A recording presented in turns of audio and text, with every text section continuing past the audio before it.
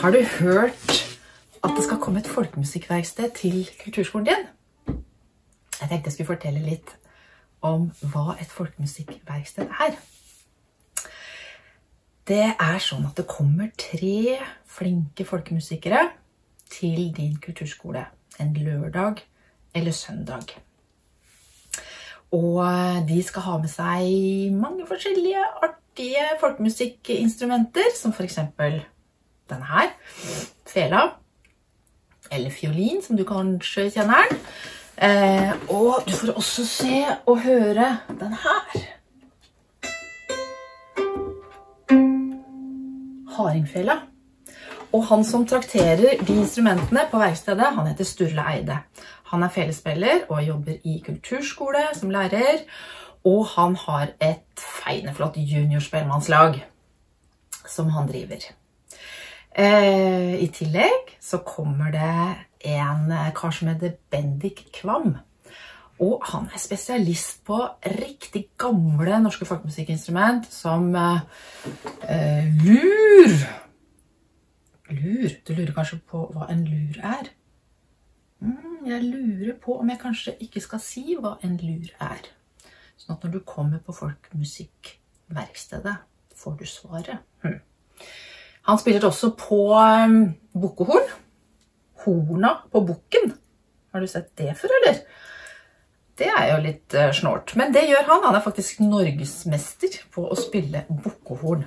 Det er faktisk veldig, veldig fint. Uh, og så lurer jeg på om han ikke har med seg en sånn òg. Det der er en seljefløyte. Den kan det hende jeg får lyd i.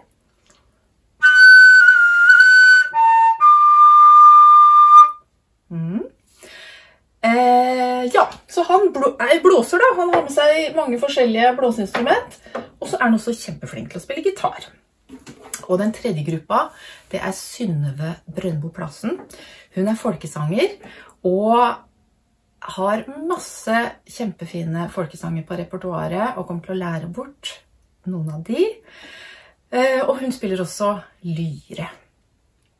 Så dette her tror jeg blir kjempeartig.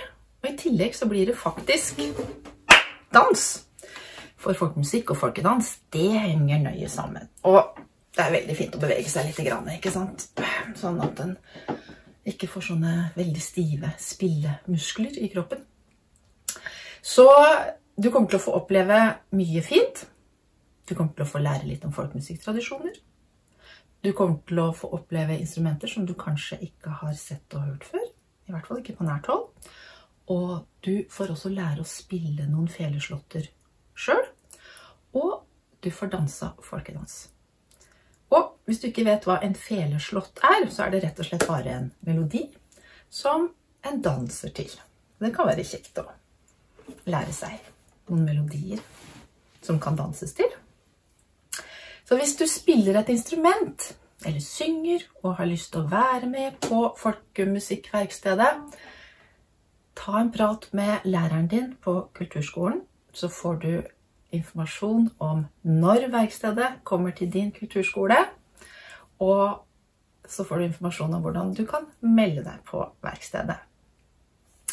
Etter verkstedet så får du noter på det du har lært, sånn at du kan fortsette å spille sangene og feleslåttene når du kommer hjem, eller sammen med læreren din. Jeg heter Marianne Thomasgaard, og jeg er folkemusikkonsulent i Akershus og Østfold. Og jeg tror du kommer til å få en kjempefin dag på Folkemusikkverkstedet. Håper du har lyst til å være med. Ha det!